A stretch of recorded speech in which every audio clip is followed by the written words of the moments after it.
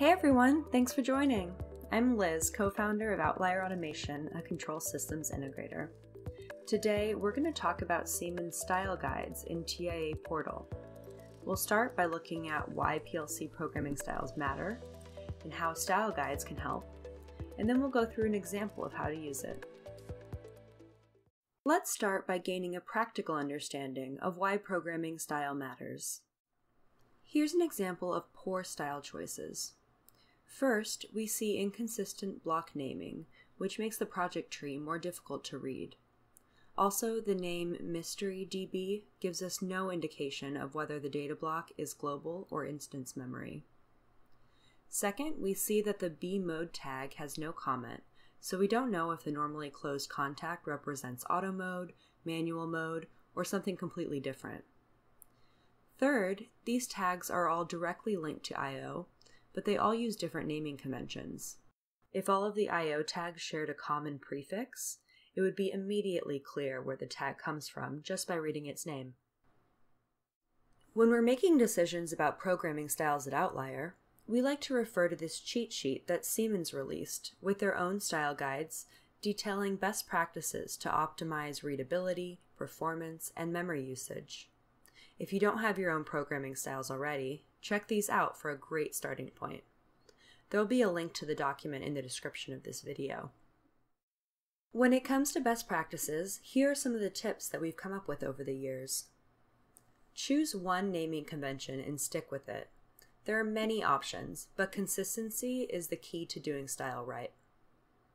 Communicate style requirements to all developers so that everyone is on the same page, and make sure you maintain a document with requirements that can be quickly and easily referenced. Carefully consider the use cases of any and all of your rules. Conforming to a style does create overhead for programmers, but the benefit should outweigh the inconvenience make sure you have a demonstrated reason to add rules. And finally, to combat the overhead that comes with enforcing programming styles, use an automated tool to lighten the load.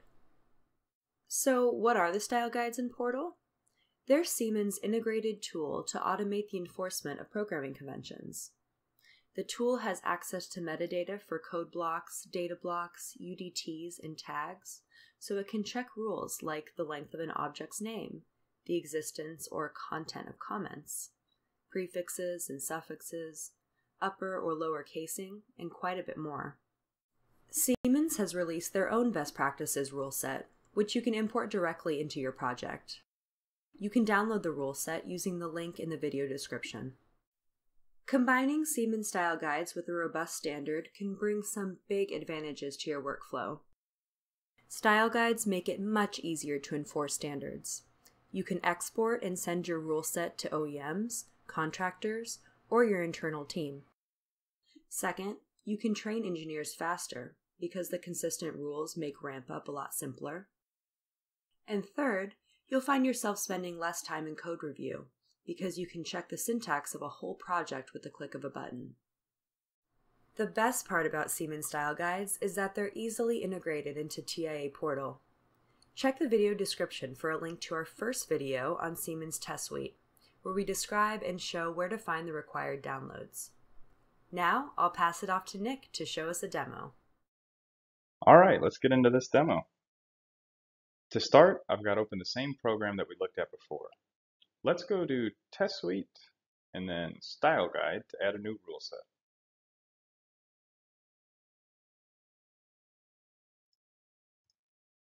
So let's set up our first rule to catch this super long FB name. So we'll call it block name length. Then we have our type and object selector. Under the object selector, you can see all the different types of objects that we can make rules about. Kind of like Liz was mentioning earlier, we have the instance data blocks, data types, tags, constants. Uh, for this rule, we'll just use the code block. Then for type, we'll choose name length. So when we expand this caret, that'll show us all the attributes of this rule. So if the name is greater than 24 characters, we should get an error. And there it is.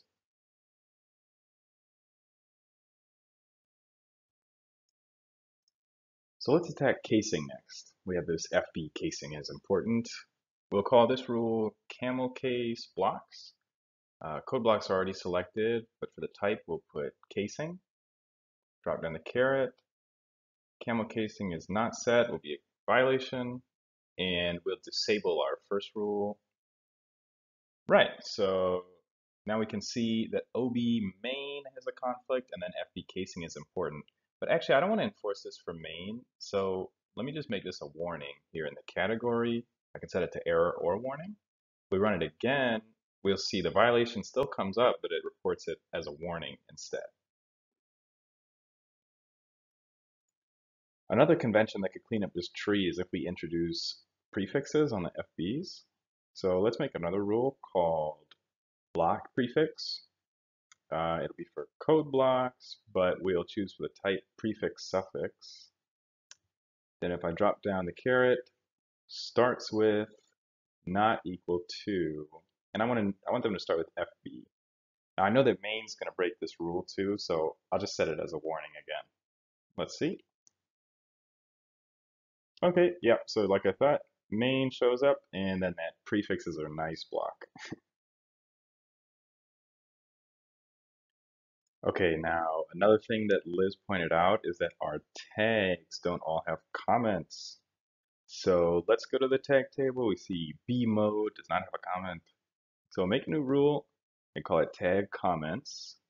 Uh, this time we're going to point it at tags. So we use the object selector. Here we go. Then for the type, we'll choose metadata, which is kind of like a catch-all for a bunch of data about the tags. Uh, so for the specific property, you can see there's these different entries. We're going to use comment and make sure that comment exists. So the violation condition would be not exist. Let's run that. There it is.